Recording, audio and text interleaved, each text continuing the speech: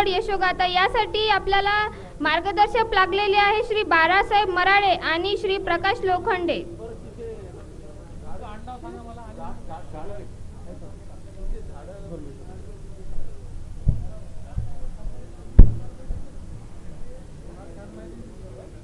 पुढील सत्र जे आहे ते सीताफळ लागवड आणि त्याबद्दल अद्ययावत माहिती आपणाला देणार आहेत. नाशिक जिल्ह्यातले हा सॉरी शेवगा लागवडवर माहिती देणार आहेत. नाशिक जिल्ह्यातल्या सिन्नर तालुक्यातले श्री बा बाळासाहेब मराळे इथं आलेले आहेत. गेले सतरा ते अठरा वर्ष ते शेवग्याची लागवड करतात आणि त्या अनुषंगानं त्यांना राज्य शासनाचे अनेक पुरस्कार मिळालेले आहेत. कृषीरत्न कृषीभूषण वन शेती पुरस्कार आणि त्यामुळे त्यांचं याच्यामध्ये खूप मोठं काम आहे. आपल्या सर्वांना ही माहिती अत्यंत फायद्याची ठरणार आहे. याचबरोबर तुमचं sir Ram? Ram agro services Wardha येथील प्रकाश लोखंडे. हे सुद्धा आपणाला शेवगा लागवडबाबतची अधिक माहिती देणार आहेत आणि त्या अनुषंगानं त्या काय ज्या काही नवीन जाती आहेत त्याबद्दलही आपल्याला माहिती मिळणार आहे. आपल्या दोघांचंही स्वागत आहे ॲग्रोविजनमध्ये मराळ साहेब मराळ साहेबांना मी विनंती करतो की शेतकऱ्यांना त्यांनी पुढील मार्गदर्शन करावं. शेवगा हे जे पीक आहे मी आज ज्या विषयावरती आपल्यासमोर संवाद साधणार आहे. गेल्या वर्षी मी या ठिकाणी लेक्चरसाठी आलो होतो. त्यानंतर बरेच शेतकरी वर्धा नागपूर त्याच्यानंतर अमरावती बुलढाणा या भागातले अनेक ग्रुप माझ्याकडे येऊन त्यांनी लागवडी केलेली आहे. शेवगा हा जो विषय आहे यामध्ये मी काम करतो आहे गेल्या सतरा वर्षापासून. जवळपास म्हणा की राज्यामध्ये त्याची व्यापारी शेतीची सुरुवातच माझ्यापासून झाली आहे. कारण ज्या काळामध्ये मी शेवग्यामध्ये एकोणीसशे सत्त्याण्णव अठ्ठ्याण्णवमध्ये काम करत होतो राज्याच्या कोणत्याही भागामध्ये पुणे आणि मुंबई वगळता कुठेही शेवग्याची शेंग विक्रीसाठी मार्केटमध्ये नव्हती. त्याची व्यापारी शेती केली जात नव्हती. तर सतरा वर्षापासूनच्या ह्या कालखंडामध्ये आज बऱ्यापैकी सगळीकडे शेवग्याची शेती दिसते. विदर्भामध्ये मराठवाड्यामध्ये उत्तर महाराष्ट्र मध्य महाराष्ट्र पश्चिम महाराष्ट्रामध्ये शेवग्याची शेती दिसते आहे.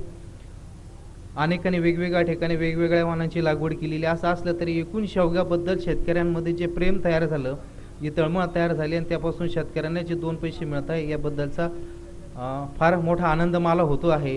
कारण गेल्या अनेक राज्यामध्ये अनेक ठिकाणी लेक्चर विविध चॅनेलवरून विविध प्रोग्राममधून मी शेवग्याचा सतत प्रचार आणि प्रसार करतो आहे. आणि तुम्हाला सांगायचं की याचं फलित असं आहे की आज आठशे कोटी रुपयाचा शेवगा दरवर्षी आपल्याला परकीय चलन प्राप्त होतं. महाराष्ट्र राज्याला आठशे कोटी रुपयाचं शेवग्याच्या निर्यातीमधून परकीय चलन प्राप्त होतो. त्याची जी निर्यात होती ती ते वेगवेगळ्या निर्यातदारांमार्फत होते. मात्र शेतकऱ्यांचा माल आठशे कोटी रुपयाच्या माल आपण विदेशामध्ये युरोपियन आणि आखाती देशांमध्ये पाठवतो आहे की ज्या काळात मी शेवग्याला सुरुवात केली तेव्हा शेवग्याची निर्यात होतच नव्हती. आणि अजूनही अनेक लोकांना खरं पडत नाही की शेवग्याची निर्यात होती आहे. तर या संघ अनुषंगाने आज मी तुमच्याशी संवाद साधणार आहे. शेवग्याची पार्श्वभूमी शेवग्याची लागवड पद्धत एक्सपोर्ट या सगळ्याच्या गोष्टी या सगळ्या गोष्टी आज तुमच्याशी मी संवाद साधणार आहे. शेतकरी बंधूंनो मी ज्या भागामध्ये काम करतो आहे मला सतरा वर्ष झाले तो सिन्नर तालुका म्हणजे नाशिक जिल्ह्यातला सिन्नर तालुका आहे. तुम्हाला सगळ्यांना माहिती आहे की सिन्नर महाराष्ट्र राज्यामध्ये जे काही दुष्काळी तालुके म्हणून आहे त्याच्यामध्ये आमचा सुद्धा तालुका आहे. आणि गेल्या चार वर्षाचं जर अनुमान काढलं तर गेल्या चार वर्षामध्ये आमच्या भागामध्ये पावसाचं प्रमाण अत्यंत कमी जवळपास दुष्काळाचे असं म्हणा. मी ज्या कालखंडामध्ये शेवगा शेतीमध्ये काम करायला सुरुवात घेतली त्या कालखंडातसुद्धा अशीच परिस्थिती होती. आणि माझी पा अगोदरची जी पार्श्वभूमी की मी पुण्यामध्ये सर्व्हिस नोकरीला होतो. तसं माझं शिक्षणाचा जर तुम्ही विचार केला तर माझं शिक्षण फक्त दहावी झालेलं आहे. आज दहावी शिक्षण होऊन आज एक वाण माझ्या नावावरती आहे. आणि आमची जी पारंपरिक शेती होती ती एकदम आजही हलकी जमीन आहे. सिन्नर तालुक्यामध्ये एक दहा ते बारा एकर माझ्याकडे शेती आहे. आणि या शेतीमध्ये वडील पारंपरिक पद्धतीने शेती करत होते. त्यावेळेला त्यामध्ये कोरडू पिकं म्हणून ते मूग बाजरी मठ अशा पद्धतीचे पिकं घ्यायचे आणि आमची बारा एकरामधली शेतीची जी उत्पादन होतं त्या काळातलं जे उत्पादन होतं फक्त दहा हजार रुपये मिळायचे. आणि उर्वरित का कालखंडामध्ये आमच्या कुटुंबातले दुसऱ्याच्या शेतीवर मजुरीला जायचे. अशा पद्धतीचं शेतीचं होतं. माझं आय टी आयचं शिक्षण झालं. आय टी आयचं शिक्षण घेऊन मी पुण्याला गेलो. टेल्कोमध्ये हंगामी कामगार म्हणून कामाला लागलो. आणि त्या ठिकाणी सहा महिने काम आणि सहा महिन्यानंतर साधारणतः ब्रेक द्यायचे. एकोणीसशे सत्त्याण्णवच्या म्हणजे एकोणीसशे शहाण्णव ते एकोणीसशे सत्त्याण्णवपर्यंत मी त्या कंपनीमध्ये काम केलं. पगार त्या काळामध्ये होता मला साडेचार हजार रुपये पगार होता. आणि अशाच मध्ये योग दुर्भाग्य असं की जागतिक मंदी त्या काळामध्ये मोठ्या प्रमाणात आली आणि आमची टो टेलकोतली जी नोकरी हंगामी होती ती सुद्धा गेली. मग आता पुढे काय करायचं? पुढं तर इतर आमचे जे काही सहकारी मित्र होते या सहकारी मित्रांना ठरवलं की कोणी म्हटलं आम्हाला नोकरी करायची आहे कोण म्हणा असे सगळं आमचा स- संवाद त्या काळामध्ये चालूच होता. योग असं आहे की त्यावेळेला माझं पुण्याच्या गुलटिकडी मार्केटमध्ये सहज म्हणून जाणं झालं सहज सहजरित्या जाणं झालं. आणि त्या वेळेला मला तामिळनाडू राज्यामधून आंध्र प्रदेशमधून तिथं ट्रकच्या ट्रक भरून आलेला शेवगा पाहायला मिळाला. मित्र त्या काळ शेवग्याचं मला कुतल यासाठी वाटलं की मा माझ्या अंगणामध्ये घरामध्ये जवळ एक गावठी शेवग्याचं झाड होतं त्याला शांगा यायच्या. त्या भाजीसाठी वापरायच्या बाकीच्या तशाच वळून जायच्या. त्याला मार्केटमध्ये त्यावेळेला कोणी घेत पण नव्हतं. शेवग्याची भाजी एक तर शेवग्याबद्दल अनेकांच्या लोकात अजूनही गैरसमज आहे त्या काळात होते ते मी पुढं सांगणारच आहे. आणि कुतूहल निर्माण झालं की बाबा एवढ्या शेंगा आणि एक एक मीटरची शेंग कारण कोइंबतूर युनिव्हर्सिटीमध्ये तिकडे जे लागवडी आहे त्या लांब शेंगांच्या आहे. एक एक मीटर लांबीच्या शेंगा आहे. आणि ते पाहिल्यानंतर एवढी शेवग्याची लांब शेंगा असू शकते याचं मलाच फार मोठं आश्चर्य वाटलं. आणि म्हणून सहज आडतदारांना विचारलं की बाबा रे या शेवग्याच्या शेंगा कुठून येतात? तिने सांगितलं तामिळनाडूमधून येतात आंध्रमधून येतात. म्हटलं यांना काय दर मिळतो? ते म्हटले त्या काळात चौदा सोळा रुपये असा किलोला पुण्यामध्ये दर मिळायचा. आणि मी त्यांना सगळं बऱ्याच आडतदारांना विचारलं की मग आपल्या राज्यामध्ये कुठे लागवड नाही का याची? आपल्या भागात कुठे शेवगा करत नाही का? ते म्हणजे आपल्याकडं कोणी लागवड नाही आणि कोणी याची लागवड करत नाही. जो शेवगा येतो तो सगळा मुंबईत इथे जसा दिवसाला दहा टक्के येतो तेवढा शेवगा मुंबईत सुद्धा दिवसाला दहा टक्के त्या प्रमाणात जातो. आणि साहजिकच मला त्या पिकाबद्दल जरा कुतूहल निर्माण झालं. आणि म्हणून कुतूहल क निर्माण झाला तर मी त्या आडतदारांच्या मागं लागलो. कारण त्यांना विचारलं हा माल कुठून येतो? ते शेतकरी कोण? काय कोण? अशी सगळ्याच पंचायती करायला लागलो. आणि ते सगळं केल्यानंतर तिने मला तामिळनाडूमधले ॲड्रेस दिले. मी त्या भागामध्ये गेलो आणि मला जी प्रेरणा मिळाली ती चेन्नईमधून मिळाली. त्याचं कारण असं की मी ज्या शेतकऱ्याकडे गेलो तामिळनाडू ॲग्रिकल्चर युनिव्हर्सिटीला भेट दिली. तिथल्या शास्त्रज्ञ त्यांचे प्रक्षेत्र दा दाखवले. त्यावेळेला पी के एम एक आणि पी के एम दोन नावाचे त्यांनी जी आजही त्या व्हरायट्या मार्केटमध्ये आहे. ते ते क्षेत्र दाखवले. पण मला जो आत्मविश्वास तयार झाला तो चेन्नईमधून. चेन्नईमध्ये त्या काळामध्ये मी जो सर्वात मोठा प्लॉट पाहिला होता तो चाळीस एकराचा शेवग्याचा प्लॉट एकोणीसशे अठ्ठ्याण्णवच्या दरम्यान. एकोणीसशे अठ्ठ्याण्णवचा दरम्यान माझ्या पाहण्यात आला आणि त्यामधला एक वीस एकर बाग हा बागायती आणि वीस एकर जिरायत्याचा दोन्ही बाग मी पाहिले आणि त्यातून मला शेवग्याची खऱ्या अर्थाने प्रेरणा मिळाली. प्रेरणा मिळण्याचं कारण असं की आमचा भाग ड्राय आहे. मी जो पॉट प्लॉट पाहिला तिथं वीस एकरामध्ये हे कोरडो पीक म्हणून केलेलं होतं आणि वीस एकरामध्ये बागायती पीक म्हणून होतं. तिथल्या शेतकऱ्याने मला एकच फक्त दिली किंवा की माहिती दिली की बाबा हे शेवग्याला मार्च एप्रिल मे मध्ये उन्हाळ्यात अजिबात पाणी नसलं तरी शेवगा काही मरत नाही. फक्त त्या काळात तुम्हाला उत्पन्न मिळणार नाही आणि एवढ्या बेसवर मी शेवग्याकडे वळालो. नंतरच्या कालखंडात त्या भागातल्या सगळ्याच राज्यांना सगळ्याच युनिव्हर्सिट्यांना भेटी दिल्या. वेगवेगळे वाण आणून लावले. आणि एकोणीसशे नव्याण्णवमध्ये जे एकोणीसशे नव्याण्णव प्रत्यक्ष आमच्या शेवगा लागवडीचा आरंभ झाला. तो टिकेने झाला. म्हणजे घरातल्या कुटुंबाच्या लोकांचा शेवगा लागवडीला पूर्णपणे विरोध होता. त्यांची इच्छा अशी अशा पद्धतीची होती की आपल्याकडं शेवगा लागवडीसाठी ज्या अनुकूल गोष्टी असायला पाहिजे त्यातली एक पण नाही. आर्थिक भांडवल नव्हतं. पा पाण्याची समस्या होती पाणी नव्हतं. त्याच्यानंतर जमीन होती ती हलकी होती आणि अशा ठिकाणी शेवगा लागवड करून काय जमणार आहे? हा कुटुंबातला भाग झाला. दुसरा भाग असा झाला की त्या काळामध्ये शेवग्याबद्दल लोकांच्या अनेक अंधश्रद्धा आणि गैरसमज. गावातले लोक म्हणजे शेवगा लावलं का वाटोळ होतं. शेवगा लावलं घरात काहीतरी वाईट घडतं. अशा लोकांच्या त्या काळातल्या अंधश्रद्धिक भावना होत्या. परंतु मी त्या राज्यांमध्ये फिरल्यामुळं माझ्यामध्ये एक आत्मविश्वास तयार झाला. आणि आत्मविश्वास तयार झाल्यानंतर मी शेवग्याची व्यापारी शेतीला सुरुवात केली. पहिल्या सहा महिन्यामध्ये त्या काळात मला पहिल्या सहा महिन्यामध्ये प्रति एकरी चाळीस हजार रुपयाचं उत्पन्न मिळालं. पहिल्यांदा जे शे- शेवग्याच्या शेंगा आल्या ते मी लोकल मार्केटला आठवडे बाजारात तिथं जो रेट मिळाला आठ रुपये दहा रुपये किलोने विकल्या. आणि दुसऱ्या वर्षापासून माझा मुंबई मार्केटशी संबंध आला आणि तिसऱ्या वर्षापासून थेट जर्मनी आपलं लंडन आणि पॅरिसच्या मार्केटमध्ये माझा शेवगा जायला लागला. तो आज आहे. जे सलग पंधरा वर्षापासून माझी शेंगांची परदेशामध्ये निर्यात आहे. मित्र मला एवढं तुम्हाला ही जी पार्श्वभूमी सांगायची झाली की आजच्या स्थितीमध्ये जे आजच्या शेती जर पाहिलं तर आजही माझ्याकडे ती आता सहा एकरामध्ये झाले. आमच्याकडे पाण्याची फार मोठी अडचण आहे. आणि सतरा वर्षाच्या अनुभवामध्ये जे मधले मधल्या भागामध्ये जी कारकीर्द घडली ती म्हणजे शेवग्याचा रोहित एक वाण हा माझ्याकडून संशोधित झाला ज्याला अखिल भारतीय देश पातळीची मान्यता आहे. पेटंट गेल्या दोन महिन्यापूर्वी त्याला पेटंट पण प्राप्त झालेलं आहे. आज राज्यामध्ये पंचवीस हजार एकर क्षेत्रामध्ये महाराष्ट्र राज्यामध्ये माझ्या रोहितिक वाणाची लागवड आहे. सहा राज्यांमध्ये त्याचे प्लांटेशन आहे. आणि जगातल्या चार देशामध्ये त्याची लागवड आहे. जपानमध्ये आहे ऑस्ट्रेलियामध्ये आहे. त्याच्यानंतर कॅनडाच्या काही भागामध्ये आहे चीनमध्ये लागवड आहे आणि हे सगळे करून आत्तापर्यंत माझ्या शेतीला तीस हजार शेतकऱ्यांनी पंधरा वर्षामध्ये भेटी दिलेल्या आहे दररोज दहा शेतकरी आणि जगातल्या वेगवेगळ्या देशातले शेतकरी हे दररोज असतात शास्त्रज्ञ असतात. आताही आज येता येताही म्हणजे काल येता येताही अमेरिकेतून एक शिष्टमंडळ एक जानेवारीला माझ्याकडे येतं आहे. त्याच्या अगोदर पंचवीस फेब्रुवारीला जे आपला सॉरी पंचवीस डिसेंबरला चीनचं शिष्टमंडळ येते. अशा पद्धतीनं शेवग्याचं कार्य हे विस्तृत विस्तृत होत गेलेलं आहे. त्याला प्रचंड प्रमाणामध्ये आखाती देशामध्ये युरोपियन देशामध्ये प्रचंड प्रमाणामध्ये डिमांड आहे. आता याचा मेन मुद्दा तुमच्यासमोर सांगतो की शेवग्याची लागवड करायची म्हणजे ती कशी केली पाहिजे. सर्वप्रथम घ्या की आपण हवामान आणि जमीन विचारात घेऊ. पहिलं महाराष्ट्र आणि भारतातला पंजाब हरियाणा. म्हणजे पंजाब हरियाणा हे थंड जे प्रदेश आहे एवढे प्रदेश वगळून भारताच्या सर्व ठिकाणी शेवग्याच्या लागवडी सक्सेसफुल झालेले आहे मग तो विदर्भ असेल मराठवाडा असेल इकडे छत्तीसगड असेल इकडं ओरिसा असेल आंध्र असेल कर्नाटक असेल गुजरात असेल राजस्थान असेल एवढ्या ठिकाणी शेवग्याची शेती सक्सेसफुल झालेली आहे. शेवगा ही उष्ण कटिबद्धामध्ये वाढणारं पीक आहे. म्हणजे त्याला उष्ण जास्त उष्णता असली ती सहन होते मात्र जास्त सण थंडी सहन होत नाही. त्यामुळे थंड प्रदेश सोडून सगळ्या भागामध्ये शेवग्याच्या लागली प्रॅक्टिकली सक्सेसफुल आहे. म्हणजे अनुभव म्हणजे असं तोंडी भंपकपणा नाही. प्रत्येक राज्यामध्ये माझ्या रोहित एक वानाच्या प्लांटेशन झालं आहे आणि ते सक्सेसफुल आहे. हवामानाचा प्रश्न मिटला राहिला जमिनीचा प्रश्न शेवगा हा खळगट जमीन क्षारयुक्त जमीन सोडून सर्व प्रकारच्या जमिनीमध्ये येतो. खा क्षारयुक्त आपण ज्याला म्हणतो की जिथे चिकट माती आहे थोडं पाणी टाकलं तरी त्याचा निचरा होत नाही. तेवढी जमीन सोडली येतो. तो भारी जमिनीमध्ये येतो तो हलक्या जमिनी येतो डोंगर उतार होतो डोंगराच्या वरती पण येतो. म्हणजे नाना पाटेकरांकडे जे मी प्लांटेशन केले त्यांची शेती डोंगरावर आहे डोंगरावर सक्सेसफुल आहे.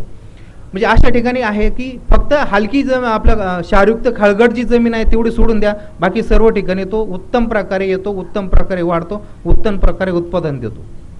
तिसरी महत्वाची गोष्ट आहे की या तीनमध्ये फक्त बदल कुठं झाला आहे की हलक्या जमिनीमध्ये जे अंतर आहे ते अंतर दहा बाय सहा फुटाचं घ्यायचं आहे.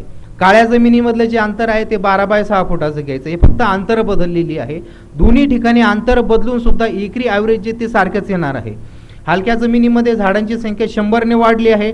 हलक्या जमीन झाडाचा विस्तार कमी होतो म्हणून शंभरने आपण संख्या वाढवलेली आहे.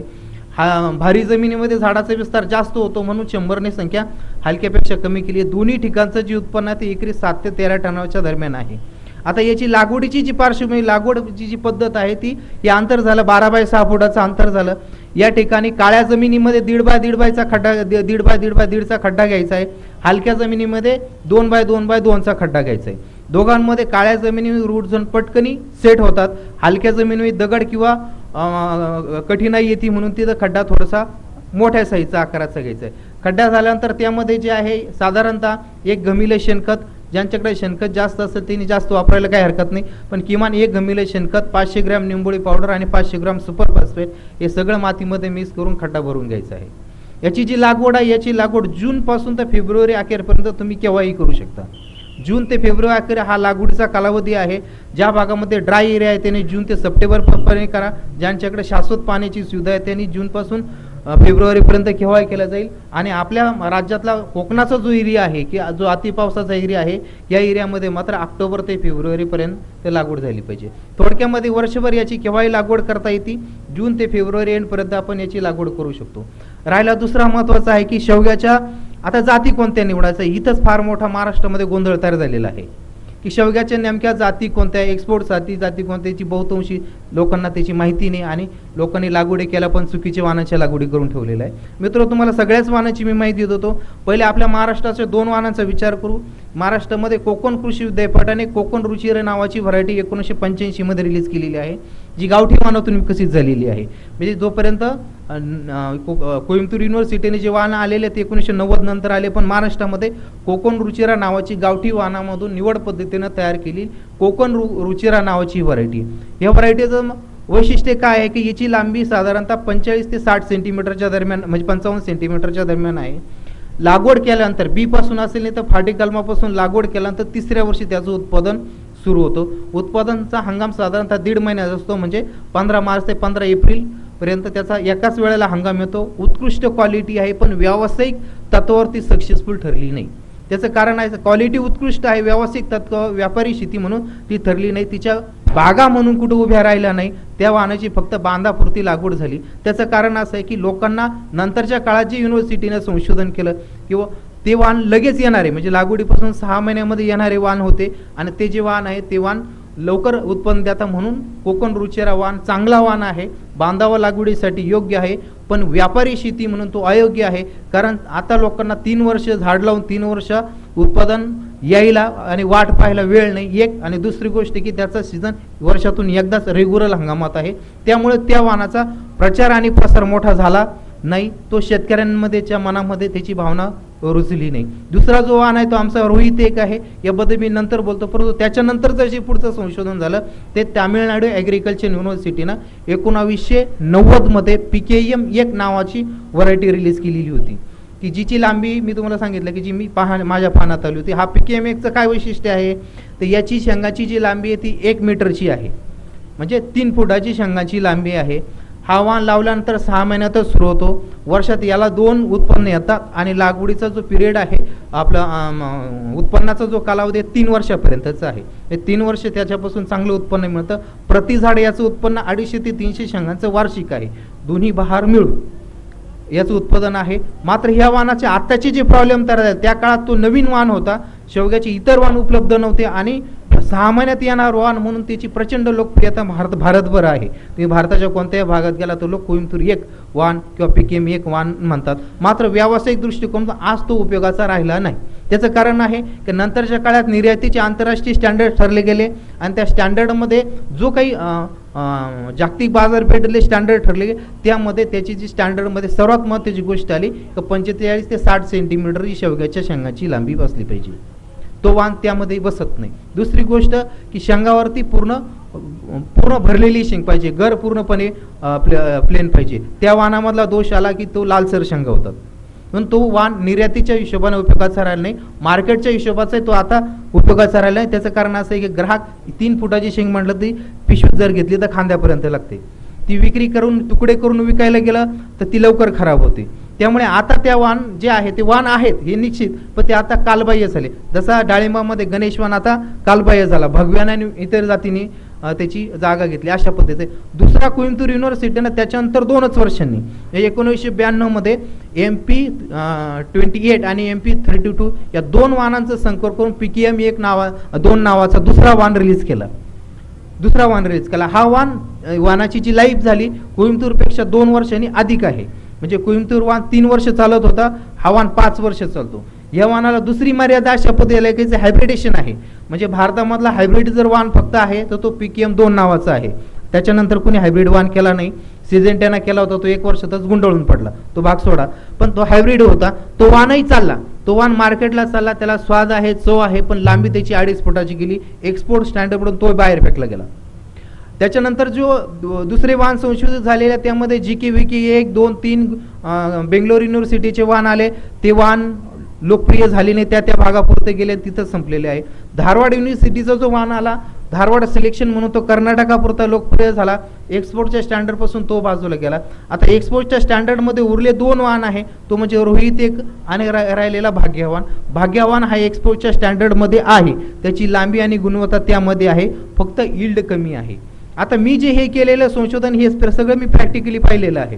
आणि निवड पद्धतीनं आता त्याची बरीच मोठी स्टोरी एवढा वेळ नाही आहे प्रॅक्टिकल पद्धतीनं दो एकोणीस दोन हजार एकमध्ये मी रोहित एकच्या वाहनाला संशोधनाला सुरुवात केली. दोन हजार दहामध्ये ते कंप्लीट झालं. एकूण याचं संशोधन कार्य जे होतं हे एकूण दहा वर्षाचा कालखंड झाला. दोन हजार पाचमध्ये नि निवड पद्धतीने जेव्हा हा वाहन तयार केला गेला तेव्हा ह्या याच्या शंघाची लंडन पॅरिस आणि एकूण सतरा देशांमध्ये महाराष्ट्र गव्हर्नमेंटने जे आपले सुधीर कुमारजी गोयल साहेब होते त्यांच्या मार्गदर्शन ह्या वाहनाची ट्रायल झाली. ट्रायल झाली म्हणजे त्या त्या सुपर मार्केटला त्या त्या देशाला या शेंगा पाठवल्या गेल्या. त्या शेंगाचे अभिप्राय मागवले गेले की तुमच्या देशामध्ये तिथले जे काही जगातल्या देशातून येणारे शेंगा आहेत त्याच्याबरोबर तुलनात्मक अभ्यासामध्ये हा वाण कसा वाटतो आणि त्याचे अभिप्राय घेतल्यानंतर सगळ्या देशातून चांगले अभिप्राय आल्यानंतर दोन हजार पाचला आदरणीय म्हणजे कैलासवशी माजी मुख्यमंत्री विलासरावजी देशमुख साहेब याच्या यांच्या हस्ते ह्या वाहनाचं दोन हजार पाचमध्ये नामकरण केलं गेलं. माझा जो मुलगा आहे रोहित एक रोहित हा माझा मुलगा आहे आणि ज्या वेळेला सर्वच सगळ्यांनीच विचारलं की तुम्ही हा केलेला वान आहे याला तुमचं कोणाचं तरी काय नाव द्यायचं? तर मी माझा मुलगा होता म्हणून रोहित हे त्याला नाव दिलं. दोन हजार पाचला याचं नामकरण झालं. दोन हजार पाचपर्यंत याचे बाकीचे माझ्या शेतीवरचे प्रॅक्टिकली प्रयोग सुरू झाले होते. नामकरण सोहळा झाल्यानंतर हा वाण ट्रायलसाठी अखिल भारतीय भाजीपाला संशोधन केंद्र जे वाराणसीचं आहे त्या ठिकाणी तो ट्रायलला गेला आणि त्याच जोडी कोइंबतूर युनिव्हर्सिटीमध्ये सुद्धा ट्रायलला गेला. अखिल भारतीय भाजीपाला संशोधन केंद्र वाराणसीमध्ये प्रत्येक भाजीपाल्याचे देशभरातल्या सगळ्या वाहनांचा संग्रह आहे. जसा शेवग्याच्या अनेक वाहनांचा तिथं संग्रह आहे. आणि नवीन ज्या वेळेला एखादा वाण करायचा आहे किंवा कोणी वाण तयार करतं तर तो तिथल्या स्थानिक वाहनांबरोबर स्पर्धात्मक तुलनात्मक अभ्यास केला होतो असा तुलनात्मक अभ्यास पाच वर्ष त्या ठिकाणी झाला. आणि पाच वर्ष कोइंबतूरमध्ये झाला आणि माझ्याकडे झाला दहा वर्ष. असा दहा वर्षाचा इतिहास तयार झाल्यानंतर दोन हजार पाचला देशातला सर्वोत्कृष्ट शौगावान वाहन म्हणून अधिकृत गॅझेटमध्ये शासनाने म्हणजे आपण ज्याला कुलगुरूंची परिषद म्हणतो अखिल भारतीय परिषद त्यामध्ये त्याला अधिकृत मान्यता मिळाली. देशभरामध्ये शेतकऱ्याने विकसित केलेला वाहन देश पातळीवर पहिल्यांदा रिलीज झाला. पहिल्यांदा त्याला मान्यता मिळाली. अशा पद्धतीने हे आता या रोहित एकचं वैशिष्ट्य काय आहे? हे सर्वात महत्त्वाची गोष्ट आहे. की हे सगळे वाहनांचं वैशिष्ट्य मी तुम्हाला सांगितलं की रोहित एक वाहनामध्ये पहिलं एक जे वैशिष्ट्य आलेलं आहे की हा साडेचार महिन्यामध्ये फुलावर येतो. लागवडीनंतर साडेचार महिन्यामध्ये याला फुलं निघायला सुरुवात होते. स- सहाव्या महिन्यामध्ये जे आहे सहाव्या महिन्यामध्ये याचं प्रत्यक्ष उत्पादन सुरू होतं. उदाहरण घ्या जूनमध्ये लागवड केली जानेवारीपासून शेंगा सुरू होतात जानेवारी ते जूनपर्यंत याच्या शेंगा चालत्या. या पहिल्या सहा महिन्याच्या कालखंडामध्ये याच्यापासून जमिनीच्या प्रतीनुसार जमीन हलकी असेल साधारणपणे तर साधारणपणे दहा किलोचं उत्पादन पहिल्या सहा महिन्यामध्ये मिळतं. जमीन बऱ्यापैकी चांगल्यापैकी असेल तर पंधरा किलो पहिल्या सहा महिन्यामध्ये मिळतं. ही याचं पहिलं वैशिष्ट्य झालं. दुसरं वैशिष्ट्य आहे की याचा जो कलर आहे पूर्ण डार्क ग्रीन आहे. याचं वैशिष्ट्यच आहे. म्हणजे कोणत्याही मार्केटमध्ये रोहित एक शेवगा हा पटकनी ओळखी होतो. कुठलेही असो तो एक्सपोर्ट असो लंडनमध्ये असो इंडियन असो याला पोपटी रंग आहे. आकर्षक पोपटी रंग आहे. एक्सपोर्टची जी स्टँडर्ड आहे जी पंचेचाळीस सात सेंटीमीटर पाहिजे त्याच दरम्यान ह्या वाहनाचं ची ची ची लांबी आलेली आहे. कलरसुद्धा एकदम ग्रीन आहे. त्याच्यानंतर याची जाडी जी आहे पंधरा ते अठरा एम एम जागतिक आंतरराष्ट्रीय स्टँडर्डमध्येच आहे. त्याच्यानंतर याच्यामध्ये आणखीन दुसरं वैशिष्ट्य की हा पहिला वाहन आहे की लागवडीपासून सहा महिन्यात वर्षातून दोनदा आणि लागवडीपासून दहा वर्षापर्यंत उत्पादन देतो. दहा वर्ष उत्पन्न देणारा भारतामध्ये आत्तापर्यंत कुठल्याही ठिकाणी कोणताही वृक्ष आढळून आला नाही. आणि हे त्याचं वैशिष्ट्य आहे. तिसरी यातली याच्यामधली महत्त्वाची गोष्ट की टिकवण क्षमता चांगली आहे. टिकवण क्षमता चांगली म्हणजे हा जो आता लंडन आणि पॅरिसमध्ये जातो विदाऊट कोल्ड स्टोअर म्हणजे आपण त्याला प्रिकुलिंग विदाऊट प्रिकुलिंग जातो डायरेक्ट जातो. म्हणजे पॅक केल्या डायरेक्ट टाकलं तरी तो तिथपर्यंत जातं म्हणजे उत्कृष्ट पद्धतीने राहतोय. असं या वाहनाचं वैशिष्ट्य आहे. आता याबद्दल जे आहे आणखीन तुम्हाला सांगायचं झालं की हा वाहन लोकप्रिय होत गेला. त्याची ख्याती महाराष्ट्रातून गुजरातमध्ये गेली आंध्रामध्ये गेली कर्नाटकात गेली जपानमध्ये गेली. आणि ह्या वाहनाचं जे डुप्लिकेशन लोक करायला लागले. काही व्यावसायिक लोकांनी जे आहे या वाहनाचं वैशिष्ट्य असं की याचं याच्यामध्ये यील्ड अधिक आहे. पण याचं डुप्लिकेशन चालत नाही. म्हणजे समजा माझ्याकडून रोपं शेतकऱ्यांनी आणली त्यांनी बी तयार केलं आणि लावलं तर साठ टक्के उत्पादनामध्ये घट येते. म्हणजे याचा एकदाच उपयोग आहे. वन टाईम यूज आहे. वन टाईम यूज या वाहनामध्ये वैशिष्ट्य असं आहे की वन टाईम यूज केल्यानंतर याला यील्ड भरपूर प्रमाणात येतं. डबल यूज जर करायला गेलं तर साठ टक्के उत्पादन घट होती. म्हणजे नर आणि मादी फुलांचं जे व्हेरिएशन आहे त्याच्यात बदल होतो. आणि त्यामुळे पुढं त्याचं डुप्लिकेशन होतं. आमच्या बिलांवरतीच ते प्रिंट केलेलं आहे. परंतु काही लोकांनी याचं डुप्लिकेशन करण्याचा प्रयत्न केला. हा वाहन प्रचंड लोकप्रिय आहे. म्हणजे काही नर्सरीवाल्यांनी शेतकऱ्यांनी विचारलं का रोहित एक वाहन तुमच्याकडे आहे की आहे? रोहित एक वाहन म्हणून दुसराच वाहन लोकांनी दुसऱ्याच्या माथी मारला. आता ही समस्या अशा पद्धती तयार झाली की मला तिकडे माहीत नसतं. म्हणजे लोक शेतकरी शेतकरी इथून मला विदर्भातून मराठीतून करतात. तुमची इकडे नर्सरी का? मी आज इथे स्पष्टपणे सांगू शकतो इच्छितो की आमची कुठंही शाखा नाही. माझी स्वतःची शेतीतून सगळे रोपं जातात. म्हणजे अगदी छत्तीसगडला रायपूरला जात असतील किंवा तिकडे जात असतील आमचा कोणी एजंट नाही आमचं कुणी कुठंही शाखा नाही.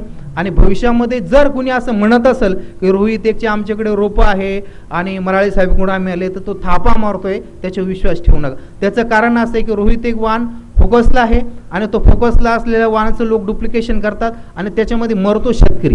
जो रोपं विकणार आहे बी विकणार आहे तो त्याचा धंदा करून घेईल. पण रोहित एक वाहनाचे गुणधर्म चांगले असं म्हणून शेतकरी त्याच्यामध्ये मरेल. कारण शेतकऱ्याला बाकीच्या गोष्टी माहीत नसतात. म्हणून इथं काही गोष्टी अस्पष्टपणे स्पष्टपणे बोललेल्या आपण केव्हाही चांगल्या आहे आता राहिला तिसरा महत्त्वाचा मुद्दा की यामध्ये एक्सपोर्टचा जो हा भाग आहे एक्सपोर्टमध्ये नेमकं काय आहे? मित्रो याचं मला आणखीन दुसरी एक गोष्ट उत्पन्नाच्या बाबतीत सांगायची आहे. शेवगा हे असं एक पीक आहे. आपण आतापर्यंत अनेक लेक्चर ऐकले सीताफळ ऐकलं असेल अंजीर ऐकलं असेल सगळे आहे. हे सगळ्या फळझाडांना लागवड केल्यानंतर सहा तीन किंवा पाच वर्षांनी उत्पादन येतं. शेवगा हे एकमेव असं फळझाड आहे की लावल्यानंतर सहाव्या महिन्यात उत्पादन सुरू होतं. मित्रो एक एकराचं मी फक्त गणित तुमच्यासमोर मांडणार आहे. म्हणजे तुम्ही पुढचं अनुमान लावू शकता. शेवगा हे दुभत्या गायीसारखं उत्पन्न देणारे पीक आहे. कमी खर्चामध्ये येणारे यावरती कीड रोग फार कमी प्रमाणात येतात. साध्या गोमूत्रानेही ते जातात. इतर पिकांसारखं खर्चिकने सहा महिन्यामध्ये याचं उत्पादन सुरू होतं. एक एकरमधून जेव्हा उत्पन्नाला सुरुवात होते तेव्हा सलग सहा महिने उत्पन्न चालू असतं. सलग उदाहरण घ्या. जूनमध्ये लागवड केली. नोव्हेंबरला पहिला सीझन सुरू होतो. नोव्हेंबर ते फेब्रुवारी पहिला सीझन आता पहिला सीझन चालू आहे. आणि मार्च ते जून हा दुसरा सीझन याच्यामध्ये आहे. एकदा सुरू झाली की सुरुवातीस एक दोन तोडे पन्नास शंभर किलो होतं नंतर सलग दोनशे अडीचशे तीनशे किलो आठवड्याला उत्पादन आपल्या हातामध्ये येतं. म्हणजे एक एकर शेवगा जर आपण लागवं तर आठवड्याला अडीचशे ते तीनशे किलो शेंगांची विक्री आपण करू शकतो. आजच्या स्थितीमध्ये शेवग्याचे लोएस्ट बाजार लोएस्ट बाजार पंचवीस ते तीस रुपये किलोचे हायेस्ट बाजार एकशे वीस रुपये किलोचे आहे. म्हणजे हायेस्ट बाजार आपण गणित सोडून द्या लोएस्ट बाजार तीस रुपये जरी म्हटलं पंचवीस रुपये तरी म्हटलं तर तीन क्विंटलपासून साडेसात हजार रुपये आपल्याला एक एकराला दर आठवड्याला मिळतात. वर्षाचं जर आपलं एक महिन्याचं गणित जर काढलं तर महिन्यामध्ये पंचवीस ते तीस हजार रुपयाचं उत्पन्न आपल्या हातामध्ये येतं. आणि वर्षाचं गणित काढलं तर वर्षामध्ये जून ते सप जानेवारी ते जून असं जर आपण सहा महिन्याचा कालावधी घेतला आणि आठवड्याला आठवड्याला आपण चोवीस आठवडे होता चोवीस आठवडे गुणिले त्याला जे आहे साधारणतः तीनशे किलो असा माल तुम्ही धरा तीस रुपये किलो गणित माना अडीच ते तीन लाख रुपयाचं उत्पन्न आहे. प्रॅक्टिकली होतं. प्रॅक्टिकली म्हणजे ही थापा नाही आहे. तर कमीत किमान किमान आपल्याला वर्षाला एक लाख रुपये शेवग्यापासून आपल्याला उत्पादन मिळतं. आता राहिले याच्यावरती किडी आणि रोग. याच्यावरती किडी येणारी आहे ती पाने खाणारी आळी आहे पाने गुणणारी आळी आहे आणि कोळी आहे. या तीनच किडी या तिन्ही रासायनिक औषधांना याचा प्रतिबंध करायचा झाला. तर लोएस्ट जी औषधं आहे जी आज जनरली इतर पिकावर ज्याचे रिझल्ट मिळत नाही ते मोनोकोडोफास रोगर आणि नुआन ह्या तीन औषधं जे आहे जे साधे औषध आहे या साध्या औषधाच्या फवारण्या याच्यावरती पाने खाणारे आळी पण जाते. कोळी पण जातो आणि त्याच्यावरती येणारे जे मावा आहे तो पण जातो. ज्यांना रासायनिक फवारायचं नाही त्यांनी निमार्कची फवारणी केली ती निमार्कनं सुद्धा याच्यावरती जे गुणधर्म आहे याच्यावरच्या किडी जातात. म्हणजे फवारणीसाठी जे डाळिंब आपण बघतो इतर फ फळं ज- ज्यांना आपण पाहतो द्राक्ष पाहतो यांना कधी कधी वर्षातून म्हणजे दिवसातून दोनदा फवारणी करावी ते शेवग्याला दर आमोशा ह्या आमोशाला फवारणी तर त्याच आमोशाला फवारणी आहे. आता ती आमोशाला फवारणी का करायची? की त्या पि पि- दरम्यानच्या काळामध्ये जे काही अंडे असतील शेवग्याच्या झाडावरती जे काही आपण फुलपाखरं म्हणू किंवा पतंग म्हणू यांनी अंडे घातलेले असतात. त्या अमावश्याच्या दरम्यान ते उबतात आणि उबले की पुढच्या नंतरच्या कालखंडामध्ये जे आहे ते त्याचे पानं खाय फुलं खाय फुलांना फुलपाड अशा क्रिया होतात. आमोशाला फवारणी केली की ते नुकतेच उमललेले असतात. म्हणजे छोट्या अवस्थेत असतात. फवारणी केली की तिचा त्यांचा बंदोबस्त होतो. अशा पद्धतीची साधी साधी टेक्नॉलॉजी आहे. वर्षाला एकरी एक लाख रुपये पासून तर तीन लाखापर्यंत उत्पन्न मिळवून देणारं शेवग्याचं ही पीक आहे. आता राहिला निर्यातीच्या बाबतीमध्ये मित्रांनो तुम्हाला सांगताना आनंद होतो. मी पहिल्यांदाच सांगितलं की आठशे कोटीचा टर्नओव्हर आज राज्यामध्ये आहे. आठशे कोटीचा शेवगा आपण दरवर्षी आखादी देशांमध्ये निर्यात करतो. आता या निर्यातीमध्ये काय लागतं? निर्याती आता स्टँडर्ड निर्यातीला काय लागतं आहे? मी स्वतः स्वित्झर्लँडमध्ये स्वित्झर्लंडमध्ये जर्मनीमध्ये नेदरलँडमध्ये आता मग थोड्या वेळापूर्वी नेदरलँडचा विषय चालू होता. मी स्वतः त्या मार्केटमध्ये गेलो आहे. त्या मार्केटमध्ये जाऊन त्या लोकांना लागणारी गरज त्यांना लागणारे पॅकिंग त्यांची हे सगळं सगळं पाहून आलेलं आहे. तुम्हाला एक सांगायचं की याचे आंतरराष्ट्रीय स्टँडर्ड जे आहे हे काय आहे? तर ला शेंगाची लांबी पंचेचाळीस ते साठ सेंटीमीटर असली पाहिजे. पहिले स्टँडर्ड आहे. शेंगाला एक इंचाचा देठ असला पाहिजे. शेंगा सोळा ते अठरा मिलीमीटर जाड युरोपसाठी आणि चौदा ते सोळा मिलीमीटर जाडी ही आखाती देशांसाठी पाहिजे आहे. शेंग सरळ प्लेन पाहिजे आहे. प्लेन गाठी गाठी नको. आपण जे बाजारात मार्केट होते असे गाठ्या गाठ्या दिसतात. तशी शेंग चालत नाही. शेंगावरती डाग नको. म्हणजे लालसर शेंगा काळ्या पडलेल्या शेंगा नाही. म्हणजे शेंड्यापासून तर देठापर्यंतची शेंग पूर्णपणे ग्रीन हिरवी असली पाहिजे. हे साधे स्टँडर्ड आहे. इतर फळांना जसं जे सांगितलं आपण की याला प्री कुलिंग करा प्री कुलिंग केल्यानंतर कोल्ड स्टोअरला ठेवा मग बा विमानामध्ये टाका मग जाऊ द्या. शेवग्याचं तसं नाही. डायरेक्ट थोडा बॉक्समध्ये ठेवा आणि विमानात टाकन जाऊ द्या. याची दोन मार्गी विमान ते आखाती देशांमध्ये. जनरली कंटेनरने जातो. युरोपीय देश त्याच्यानंतर इकडे Singapore Thailand Malaysia Japan Russia या देश कॅनडा ह्या देशांमध्ये जे जाणार आहे तो सगळा विमानमार्गे शेवगा निर्यात होतो आहे आणि ह्या सगळ्या गोष्टी आपल्याला करायच्या असतील. आज एकशे सत्तर ते ऐंशी निर्यातदार मुंबईमध्ये याची निर्यात करतात. इथून पण दुबईमध्ये माल जातो. म्हणजे नागपूरमधून सुद्धा चालू आहे. नागपूरला दुबईला फ्लाईट सुरू आहे. आणि नागपूरमधून सुद्धा माल दुबईमध्ये येतो आहे. मग हे सगळं आपल्याला जर करायचं असेल तर उत्कृष्ट क्वालिटी मिळाली पाहिजे. दोन गोष्टीला मार्केटची गरज आहे. मार्केटला दोन गोष्टीची गरज आहे. त्या आणि शेतकऱ्यांना एका गोष्टीची गरज दोन्ही गोष्टीची गरज आहे. दोन्ही सांगतो. मार्केटला स्टँडर्ड क्वालिटी पाहिजे. ते एक्सपोर्ट मार्केट असेल नाही तर लोकल मार्केट असेल. मार्केटला स्टँडर्ड गुणवत्तेची गरज आहे. शेतकऱ्यांना गुणवत्तेची गरज आहे आणि ॲव्हरेजची गरज आहे. एखादी गोष्ट चांगली आहे ॲव्हरेज नसेल शेतकऱ्यांच्या काहीच कामाची नाही. शंभर रुपये किलोने शेवगा गेला पण त्याला जर मालच कमी येत असेल त्याचा उपयोग का आहे? तर हे सगळे गुण रोहित एक वाहनामध्ये त्याला ॲव्हरेज पण आहे. रोहित एकवानाचं जे यील्ड आहे याचं जे हायेस्ट रेकॉर्ड आहे माझ्याकडे सतरा वर्ष वयाचा मातृक्ष आहे. सतरा वर्ष वयाचा दहा वर्ष त्याची लाईफ आहे पण सतरा वर्ष वय त्याचं झालेलं आहे. गेल्या वर्षाचं त्र्याहत्तर किलो त्याचं वार्षिक उत्पादन आहे. एवढं वय म्हणजे अधिकृत त्या रोहित एकवानाचं जे वय आहे ते अधिकृत त्या दहा दहाच वर्षाचं आहे. पण मी ठेवलेला तो वृक्ष आहे त्याचं संशोधनाचं काम माझं अजून याचं सतरा वर्षाचं झालेलं आहे. अधिकृत लाईफ याचं दहा वर्षाचं आहे. तर अशा पद्धतीने जे अशा पद्धतीने एकदा लागवड केल्यानंतर आपल्याला दहा वर्ष पर्यंत त्यापासून उत्पादन घेतं. निर्यात करता येते आणि निर्यातीसाठी दोन गोष्टी मी सांगितल्या क्वालिटी आणि क्वांटिटी म्हणजे उदाहरणार्थ तुम्ही जर लागवड करताना व्हरायटी चुकली व्हरायटी चुकली निर्यातान तुमचा विषय कायमचाच संपला. कारण निर्यात्याला तिथं तोडजोड होत नाही. निर्यातीला रेट चांगले मग पण तडजोड हा विषय नाही. मी स्वतः त्या देशांमध्ये गेलोय त्या देशात पाहिले नंबर एकचाच माल त्या देशामध्ये आहे. स्वतःच्या देशात जे उत्पन्न होणाऱ्या भाज्या फळं आहे नंबर दोन आणि तीनचा माल शेतीवर तिथंच स- संपवला जातो. तो मार्केटमध्ये आणला जात नाही. युरोपियन देशामध्ये सेकंड आणि थर्डला मार्केट नाही. जे मार्केट आहे कोणताही भाजीपाला असो ते फळ असो नंबर एक नंबर वन अख्ख्या देशांमध्ये त्या युरोपच्या जर्मनी स्वित्झर्लंड लंडन पॅरिस ह्या सगळ्या देशांमध्ये एक स्टँडर्ड आहे आणि स्टँडर्ड प्रमाणे त्याचं काम.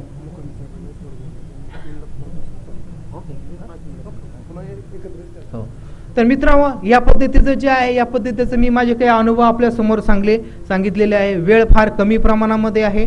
कृपया आपण माझ्याशी संपर्क करा. माझा नंबर फक्त लिहून घ्या. इथं दुसरे मान्यवर बसलेले आहे. त्यांना पण तुम्हाला ऐकायचं आहे. निश्चितपणाने तुम्ही माझ्याशी संपर्क करा येऊन पहा. गेल्या वर्षाचं ह्या ठिकाणी मी कार्यक्रम घेतला होता. अमरावती त्याच्यानंतर वर्ध्यामध्ये लागवड झाली अमरावतीत झाली बुलढाण्यामध्ये झाली. आणि लहान लहान शेतकऱ्यांनी ग्रुपने येऊन पाहिलं लागवडी केली आहे. उत्तम उत्तम प्रकारचं आहे. आपण हे करा माझा नंबर घ्या. माझं नाव आहे बाळासाहेब मराळे. आणि मोबाईल नंबर आहे अठ्ठ्याण्णव दोनशे तेवीस पंधरा सहाशे एक्केचाळीस. अठ्ठ्याण्णव दोनशे तेवीस पंधरा सहाशे एक्केचाळीस.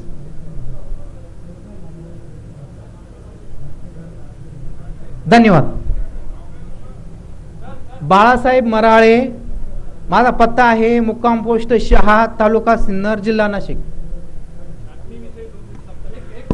ते काय झालं आहे? इथे जे आहे दुसरे मान्यवर आहे आणि दुसरे मान्यवर असल्यामुळे आपण बाकीचा जो भाग आहे तुम्ही माझ्याशी आता तुम्हाला माझा विषय समजला. तुम्ही व्यक्ती वैयक्तिक माझ्याशी कॉन्टॅक्ट करा तुम्हाला मी माहिती हॅलो सर्व शेतकरी मित्रांचं राम ॲग्रो सर्व्हिसेस वर्धा या कंपनीच्या वतीनं मी मनपूर्वक स्वागत करतो आहे. मी सुरुवातीला राम ॲग्रो सर्व्हिसेस आणि माझा एक छोटेखानी परिचय आपल्याला देतो आहे. मी विदर्भाचा पुत्र या नात्यानं विदर्भाताचे विदर्भाच्या मातीशी जुळलेला व्यक्ती या नात्यानं विदर्भाच्याच लोकांसाठी काम करायचं आहे. म्हणून पश्चिम महाराष्ट्रातील नवीन तंत्रज्ञान किंवा इतरही जगातील नवीन तंत्रज्ञान आतापर्यंत जो आपला मागास भाग आहे या भागामध्ये पोहोचलेलं नाही ते पोहोचवण्याचं काम गेल्या दहा वर्षापासून राम ॲग्रो सर्व्हिसेस ही कंपनी करत आहे सातत्यानं करत आहे. त्यामध्ये डाळिंब लागवड आणि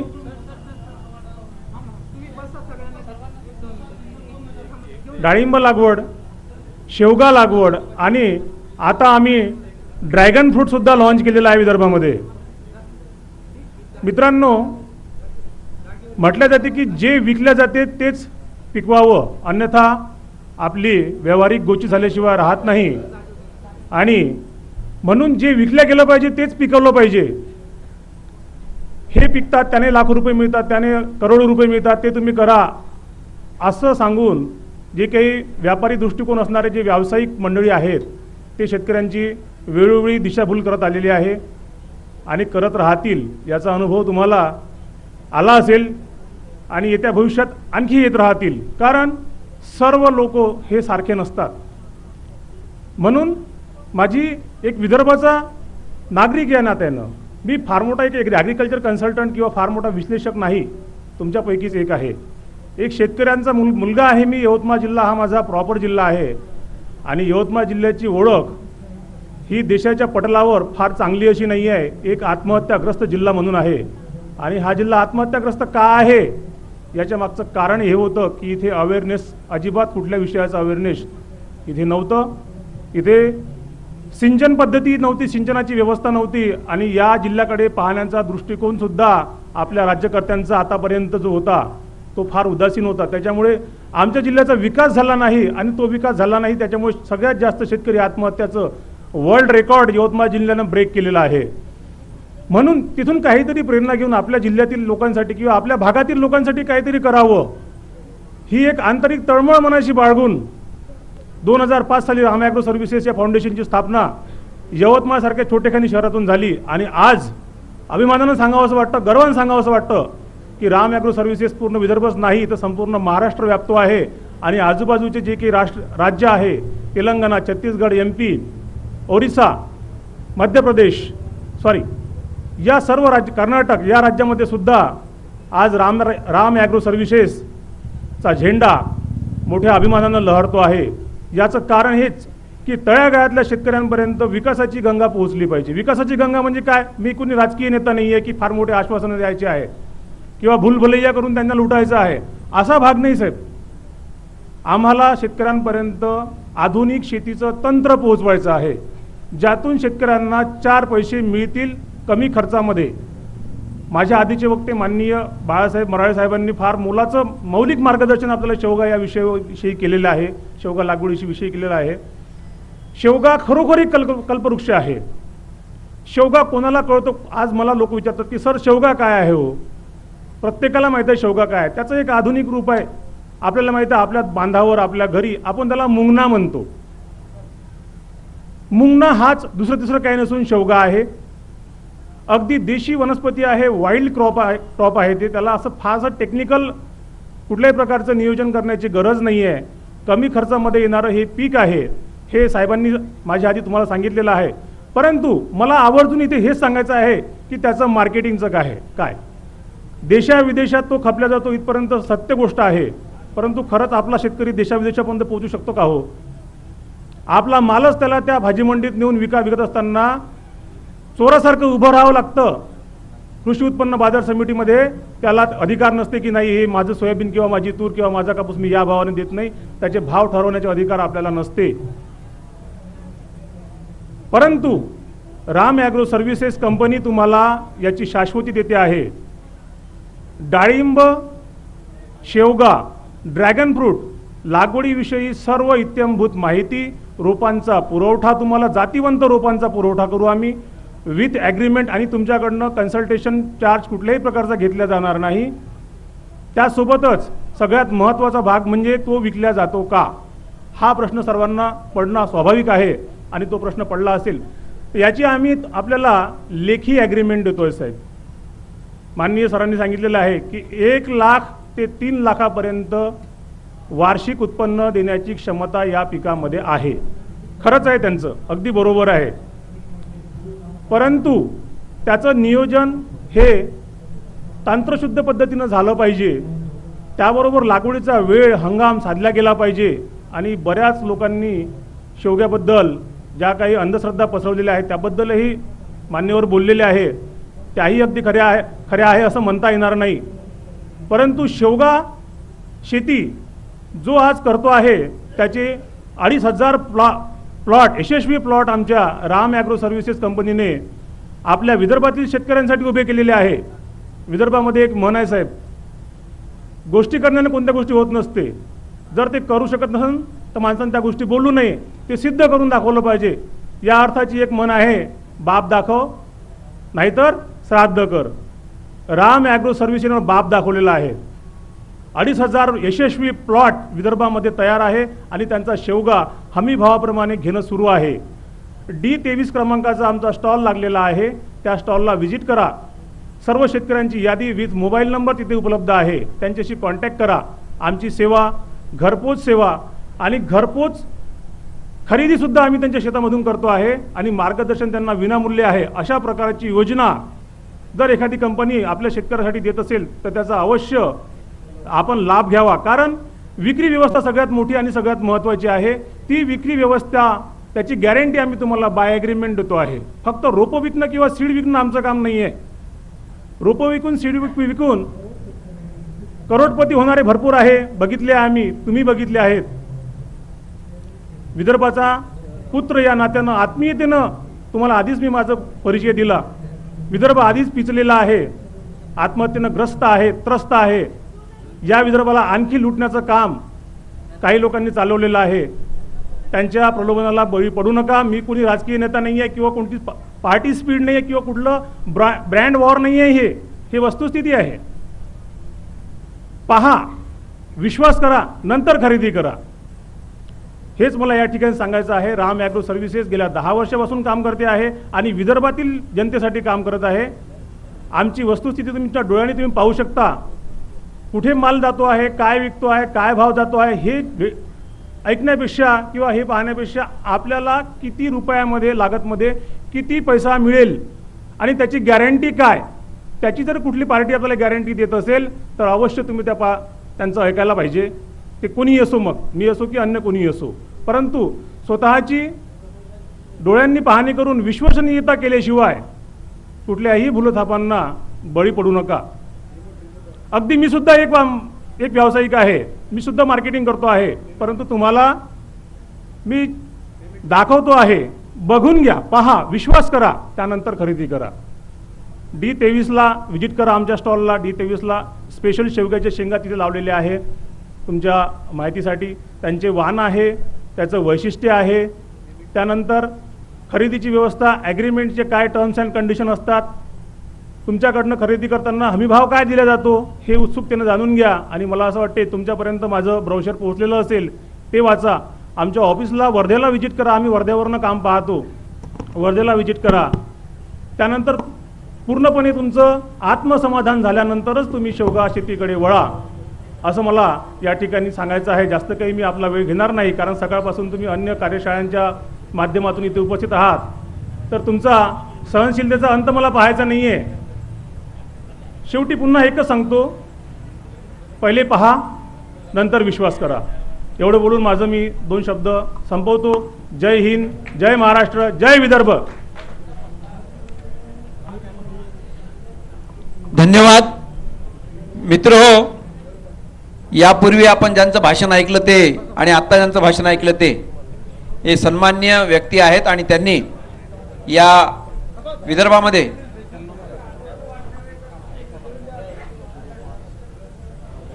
विदर्भामध्ये क्रांती घडू शकेल असं शेवगा. हो हो, हो. आणि आपल्या सर्वांतर्फे मी या दोघेही अतिशय उत्कृष्ट अशा वक्त्यांचं ॲग्रो विजेंतातर्फे आयोजकातर्फे मनापासून अभिनंदन करतो. मान्य श्री बाबासाहेब मराळे यांना मेमेंटो देऊन डॉक्टर ए डी जाधव साहेब डॉक्टर ए डी जाधव साहेब जे या देशातले एक अप्रतिम रेशीम तज्ज्ञ आहेत. घ्या बाळासाहेब. आणि बाळासाहेब सातत्याने मागेल आम्ही तीन चार वर्षापासून त्यांना बोलवतो ते येतात. त्याबद्दल त्यांचा मनपूर्वक आभार. त्यांचा मोबाईल नंबर वगैरे तुम्ही घेतलाच असेल. तुमच्या पॉम्पलेटवरही दिलेल्या पॉम्पलेटवर त्यांचा नंबर आहे. यानंतर श्री प्रकाश लोखंडे साहेब तुम्ही या ठिकाणी आलात. त्याबद्दल तुमचं सुद्धा मनपूर्वक अभिनंदन स्वागत धन्यवाद.